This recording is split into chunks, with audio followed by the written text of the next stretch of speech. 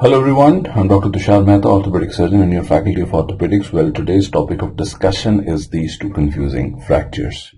Let's simplify them.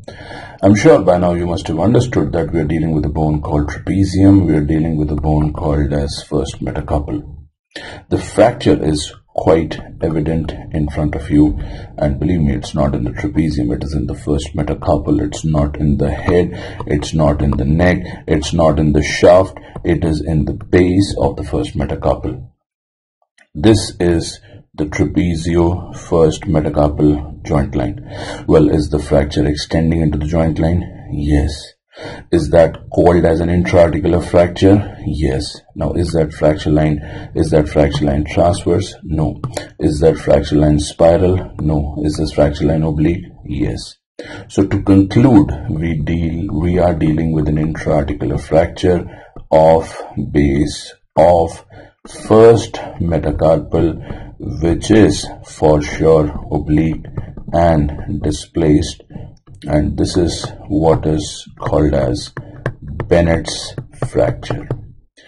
Let's switch over to the next one, trapezium, first metacarpal. Fracture is not again in the trapezium, it is the first metacarpal, it is not in the head, not in the neck, not in the shaft, it is in the base. Now this is the trapezio first metacarpal joint line. So again, my same point of view is the fracture line extending into the trapezio first metacarpal joint? Yes. So am I going to call this as an intra-articular fracture of the base of the first metacarpal just like the previous fracture? Yes. Now is this fracture oblique? I don't think so. Is this fracture having more than two fragments? I do think so. One, two, three, probably even four.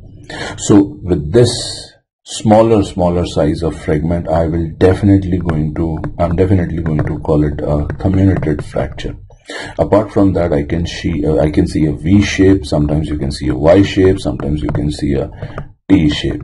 So this fracture, what you have seen just now, is what is called as rolando's fracture.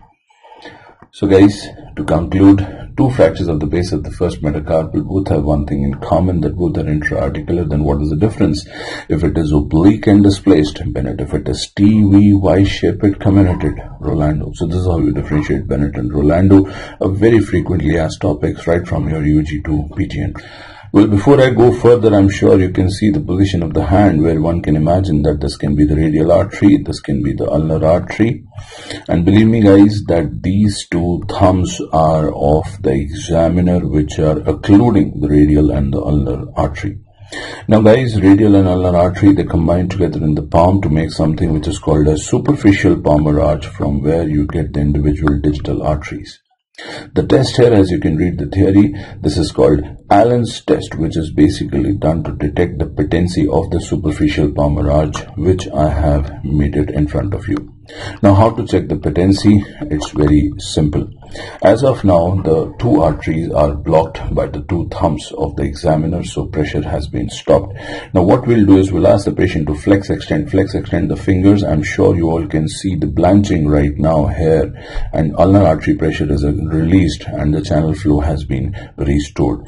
We'll again ask the patient to flex and extend the fingers, and now the pressure will be removed from the radial artery, and you can see that the blanching has again become red. What does that mean? Radial channel is patent, ulnar channel is patent, both the channels are patent, arch is patent, and Allen's test is positive. Yes, guys, normally if you're not able to do the job, then the test is positive. Here, where it's an exception, where you're doing your job, but the arteries are patent, they're intact, the arch is patent, Allen's test is positive. So, very important clinical test. I'm sure it was useful for all of you. Three beautiful images that are one of the most frequently asked MCQs in your entrance exam. I'm sure if you see this image number one, you can conclude that you are dealing with what?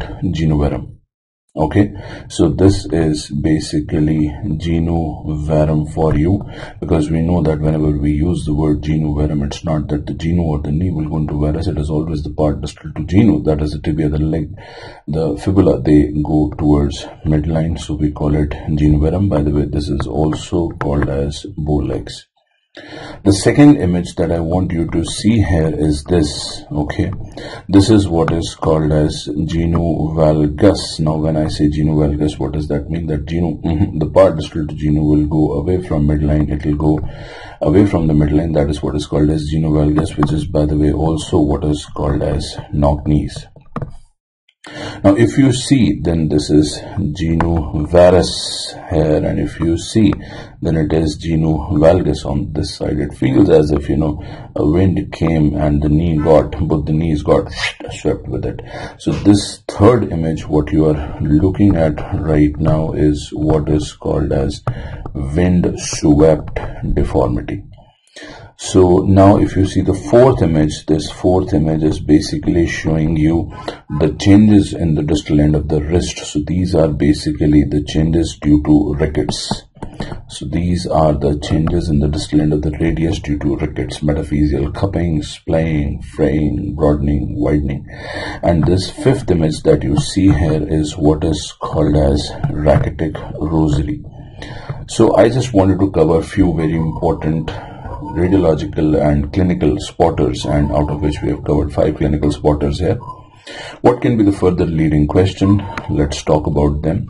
The further leading question is pretty simple that they can ask you about the most common cause of of what? They can talk to you about the most common cause in children of genu varus. Well, answer is rickets followed by idiopathic. Similarly, they can ask you the most common cause of genu valgus in children. It is just the opposite, which is idiopathic followed by rickets. They can ask you the most common cause of wind swept deformity in children. Answer is, but of course, rickets.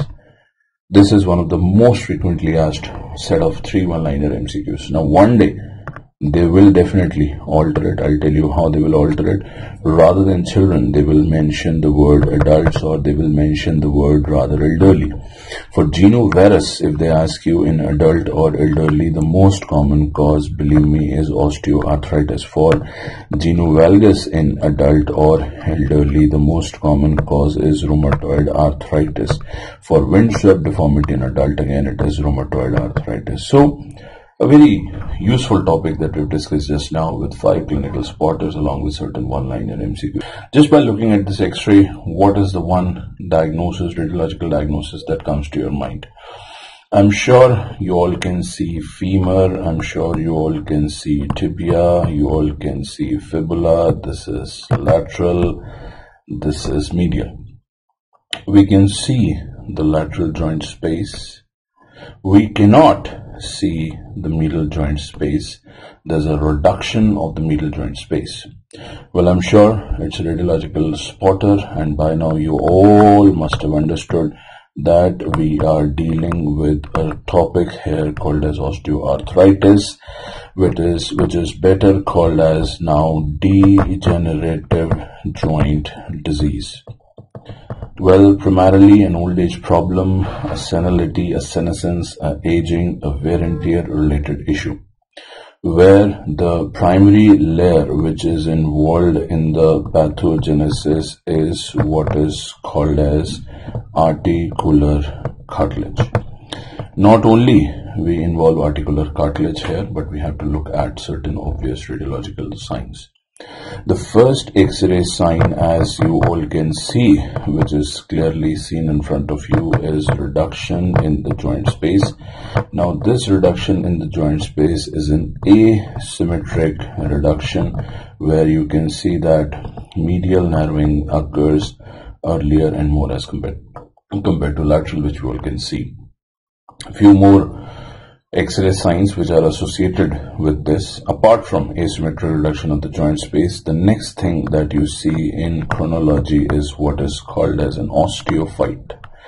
I'm sure you all can see this bony spurs, bony spicules, they're called as osteophyte. The problem with an osteophyte is that one day they might get broken and they might to come to lie inside the knee joint and become a loose body. I'm sure by now you all must be aware of the fact that any bone that looks a little more white on an x-ray is called sclerosis. So if you see then this bone is a little extra white here and since it is just beneath the cartilage we call it subchondral sclerosis I'm sure you all can see a fluid filled cavity in this area and a fluid filled cavity is what is called as cyst formation which is just below the cartilage that is subchondral cyst formation. So this is how the chronology of X-ray signs happen. Few one-liners associated with this topic. Well, most common joint, knee. But if not knee, then what? Then hip. If not hip, then what? Spine. Are any small joints involved? Yes, even small joints are also involved. First, carpo-metacarpal joint involved. First, metatarsophalangeal joint involved. PIP joint and DIP joint are also involved the proximal and the distal interphalangeal joint. In knee, most common bone is patella. No, it's not femur, it's not tibia, it is patella. The most common muscle, quadriceps femoris, which part? Vastus medialis. Which part? Vastus medialis obliquus. The first muscle to undergo degeneration and atrophy is VMO. The most common symptom is pain and believe me, it's not only the most common symptom, this is the only, this is the only absolute indication for doing TKR in a patient total knee replacement. The most common deformity that you see is genu varum. Let me show you the genu varum. So this is the genu varum. There are other deformities as well that we see in the PIP and the DIP. In the PIP, we see Bouchard node. The DIP, we see Heberden node. When I was preparing like you, it actually was a difficult task for me to remember which one is PIP, which one is DIP, which deformity is what. So I kind of made a mnemonic for myself in those days like blood pressure leads to heart disease. You know, for old age, looks like to be an apt as well. Blood pressure leads to heart disease. B. Bouchard, P. PIP, H. Herberdon, D. DIP. So this was a quick recap on this topic of osteoarthritis where we discussed some of the highest yielding MCQs from this topic. Well, stay tuned more videos on this YouTube channel. I wish you all the best. Thank you so much. God bless.